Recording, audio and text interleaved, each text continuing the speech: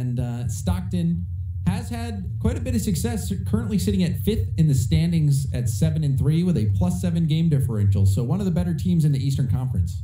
Yeah, definitely on the uptick here. They said they've enjoyed uh, the roster switch that they've made, and so far it's proving to be an effective one. But this is a team with upset potential in Platteville, and they cannot afford to be taken lightly. Cobb, I mean, he's right behind the first man, so. And oh, it might be in. It is and let's see if this is the new slowest goal by slow. It's now it's seven. seven.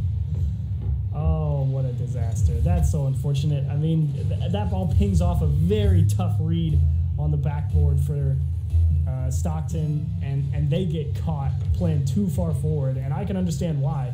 They had great control over the ball for the first minute and a half. And I think they were just so locked into that rhythm that they go, wait, is anyone back? No, oh dear.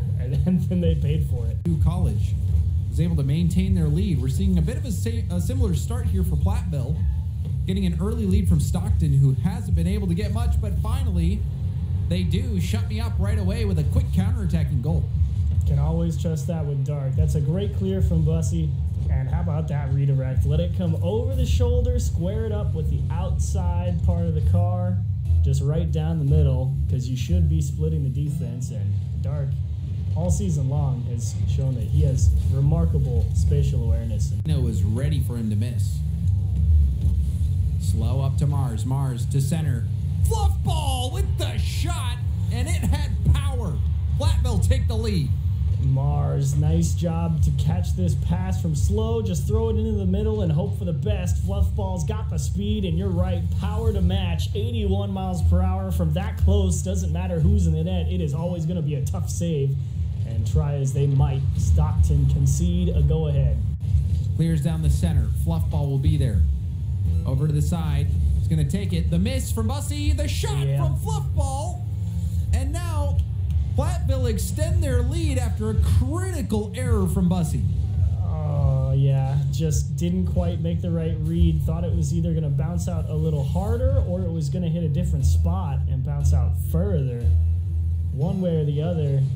Incorrect pathing, and Fluffball definitely made him pay and will put game one out of reach. And we'll see that last attempt get denied. And Stockton losing in game one. Platteville coming out swinging. Fluffball with a pair of excellent goals.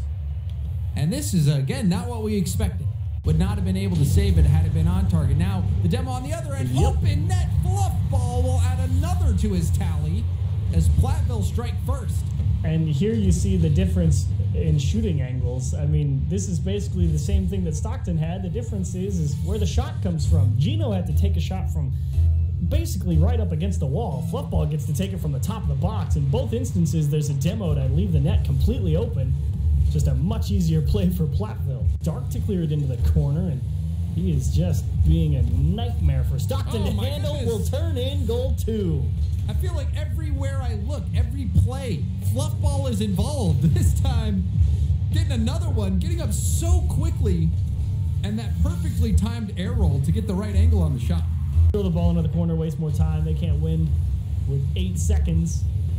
So Platteville going to be up 2 0. And Stockton back to the drawing board again. So.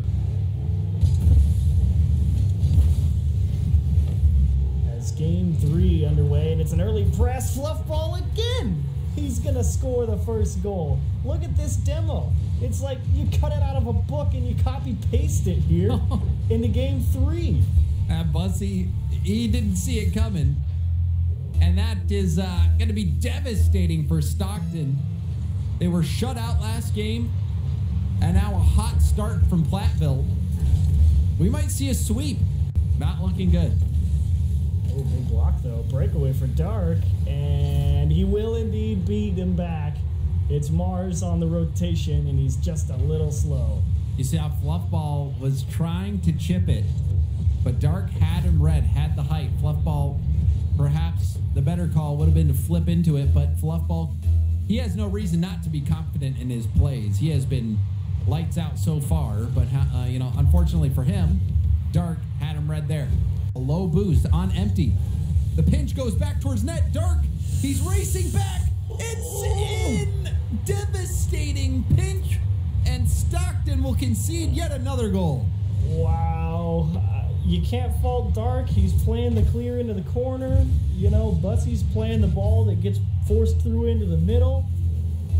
And Slow gets Wow. the very fortunate dunk and run straight down the middle.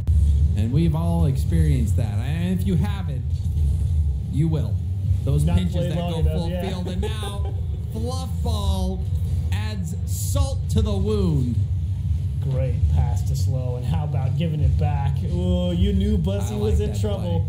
Yep, let it roll. When you're facing backwards and you don't have a lot of speed because you're right next to the net, it suddenly gets a lot easier to think you're getting mind gamed. And Fluffball said, "Fine, you don't want to move." Yeah, we'll just, I'll just right steamroll this to the corner. Two goal deficit. Minute and a half left. Oh. Well, we see another one. Slow. Wow. Oh, slow. He did it to him there. A huge 50 win, and Bussy gonna be Oh, left mo- stuttering. lucky. it's a huge 50 win, but the fortunate part is that the 50 that he won pinged off Mars and went right back into it. Equal parts skill and luck, and they combine for a three goal lead. And man, if you're Stockton, you are steaming right now. That pinch, now that play, and they get one back. So this is not out of reach for Stockton. Dark will get the second goal of the game, now putting them within two, a bit Wow. over a minute left. They've got some time. And a little bit of fortune there as well. Mars was expecting Bussy to come up with a touch because Bussy had him beat. So Mars played it as if there was going to be a harder touch towards net. Ended up having to defend Dark's touch. And, you know, Dark doesn't miss that often if he's given space. Fluffball. Back to Mars. Mars over Bussy, and Bussy couldn't recover in time. Critical mistake.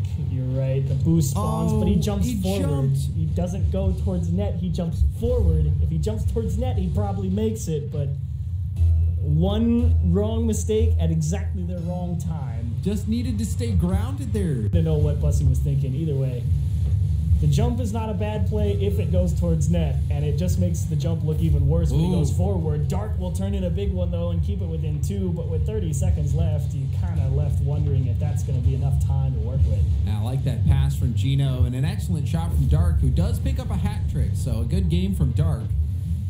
But uh, Stockton gonna need some magic. Still down by two. All centered. Gino not there in time. Bussy towards net. Slow will kick it to the corner. And Gino will get denied another upset. Maybe not as big as the previous one, but still an upset. Platteville getting the win over Stockton.